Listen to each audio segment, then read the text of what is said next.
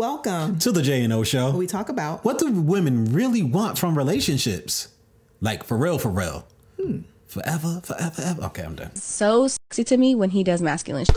When I see him working on the yard, when I see him fixing the house, when I see him just like talking to a guy in a certain way and his like masculine tone comes out and, mm. and I just see him in real life or like he views someone in the store and he's like, ah, they're moving a little funny, get on this side of me. Like mm-hmm. that is sexy. Women want that and it's a primal thing. Yeah. It's it's a procreation yeah. thing. You know, we want to be whether women want to admit it or not we want to be soft. We, we, we want to be around a man that we don't gotta embrace our masculinity right? Because that man will go and embrace his masculinity.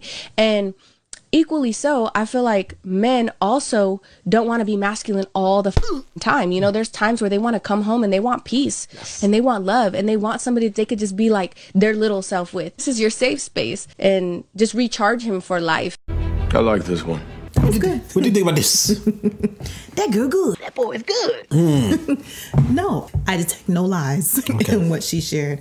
I think that's very true. And that's something that we've spoken on. I know I've spoken on, depending on what order these videos come out in. We I just spoke on it in mm. one of the videos. We need to change the narrative as far as what we want as women because we hear we want equality, we want, you know, we want to be basically viewed just like men. And in actuality, that's not what it is hmm. because we want to be soft. We don't want to have to be hard. We don't want to have to go out and do the more masculine things all the time. I understand that some of us have to do it, especially like if you're a single parent, but having to do something and wanting to do something is two different things. But I wholeheartedly agree with her. Like it's definitely attractive to see a man in his in his masculinity, just like I think it's very attractive for men to see women in their femininity. Mm. Like that's just naturally how we're built. One of the things that she mentioned, something as simple as being out and about and you recognizing that something seemed a little off or might not be right, you automatically go into protection mode. Mm-hmm. That is attractive because by nature, women, we want to be protected and we want to be provided for.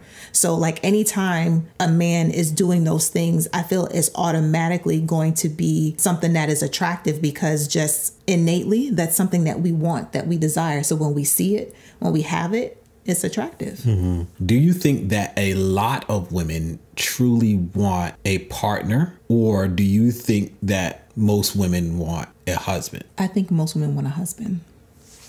Okay the partner in which we see it being televised as, no, I don't think that's necessarily what women want. Hmm. Not deep down inside.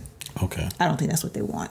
And when I say what we see being advertised, partnership where everything is equal on both sides. Mm-hmm. Like we, we want to be partners, like uh, like we're equally doing everything the same type thing. And I don't think that that's true. Partnership maybe in the sense that like I got your back, you have mine. Mm-hmm. Yes. You know what I'm saying? Like, okay, I see you over there handling that. I'm gonna make sure I'm over here handling this, taking care of that. In that respect, yes, I mm. think yes. But I don't think in the partnership as far as like what you hear and what you see in our modern society and on television like okay well no it's 50-50 he's going to work 40 hours a week 50 hours a week 60 hours a week. I'm going to work 40 50 hours a week. You know he's out here going to get the car fixed. I can go get the car fixed. You know what i'm saying? Like different things like that. I don't think that that's what women truly want. And if you guys made it this far, go ahead and smash that subscribe button, turn your post notifications, and give us a thumbs up so that way YouTube can know that you appreciate what we're putting down. What we're putting down. Okay, well, I'm interested, guys. What do y'all think women truly want? Yeah. I am. Comment below. Yeah, I'm, and I'm, let us know what you I, think. I, I, think that there's a nature for women to want men to move a certain way. And mm-hmm. I think that my wife here pretty much summed a lot of that up. I don't disagree, but. I'm also not in the dating market. So I don't know what it's like for you guys that are still dating. I've been That's married true. for almost 20 years at this point. Yeah. I don't know what women nowadays are really moving like what they really think.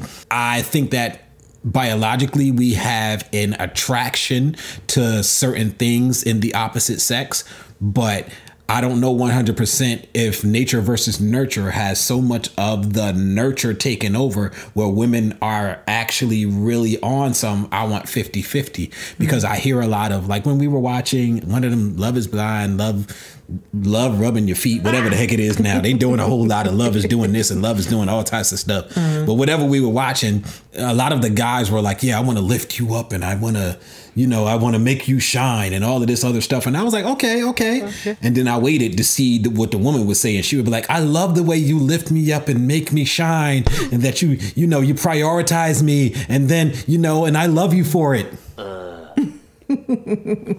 and I sort of go, What? Uh, and that's exactly why I said that no, women truly do not want partnership.